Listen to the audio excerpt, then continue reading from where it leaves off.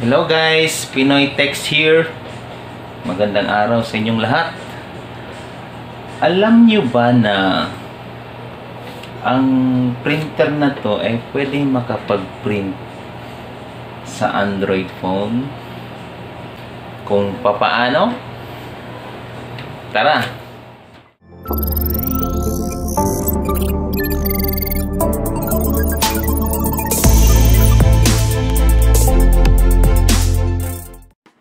Una, i-download ang app na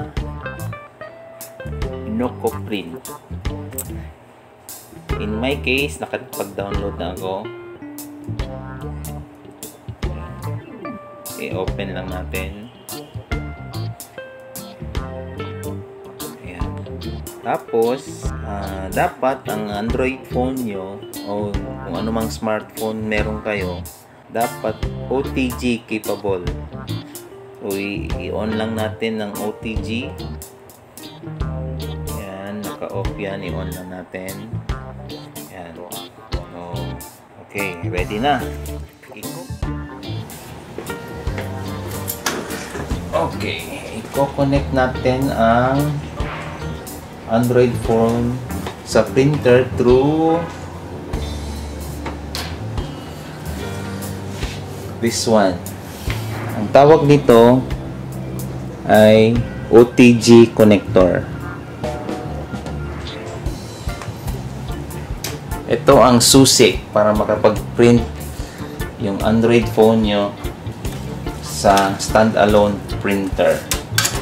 Pero dapat ang Android phone nyo is OTG capable. Ayan, i-connect natin ang USB cable ng printer sa OTG connector. Ayan. Ayan, connected na siya. And then, saka natin i-connect sa cellphone. Yan, i-connect natin sa cellphone o sa Android phone. Ayan. Ayan. Open Nocoprint to handle L3110 series na printer. So in this case, ang printer natin is Epson L3110. So okay lang natin. Ayan. So meron lang siyang ads. Pwede lang i-skip mo lang yung mga ads nito.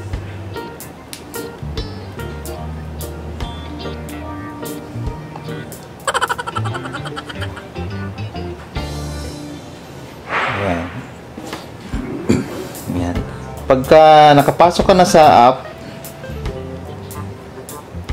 uh, mag-install pa siya ng printer driver. Kung anong model yung printer mo, alam mo ito, in, in this case kasi installed na siya. And then, we're going to try mag-print. Okay, punta tayo sa photos and images. Okay. Halimbawa, itong printer na to. Print natin.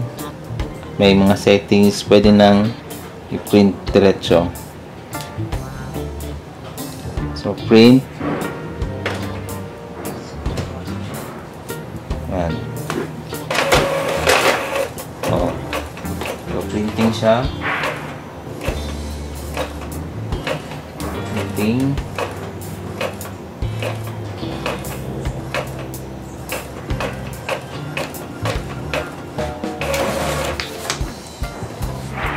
So, success yung print natin.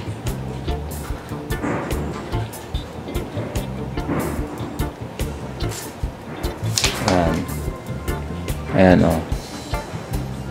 Ayos pa? Isa na namang tip ang naibahagi natin ngayon. Ang makapag-print mula sa cellphone sa hindi wireless na printer hindi capable ng wifi walang wifi direct at walang bluetooth